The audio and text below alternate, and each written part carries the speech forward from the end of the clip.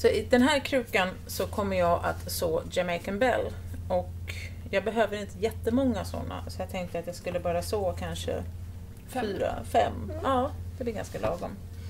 tar jag din lilla såpanna, fuktar den och så tar jag mina Jamaican Bell-frön här och lägger ner.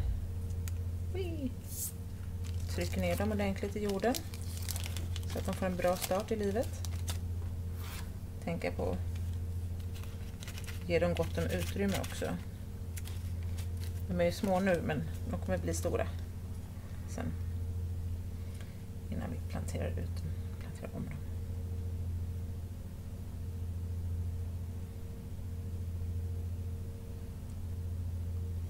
Sådär. Eh, så först tar vi då och eh, skakar lite jord över så vi täcker fröna. Sådär blir bra.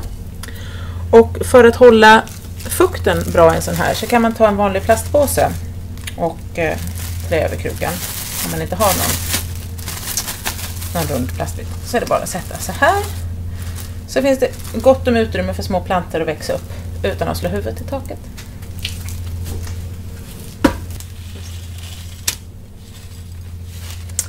Häller ut några frön på en tallrik.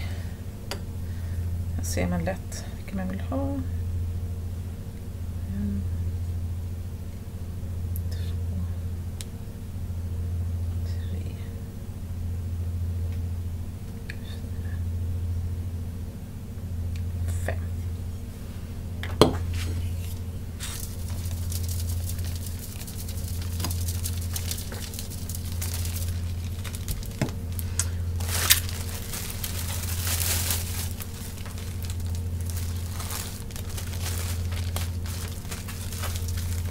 Excellent.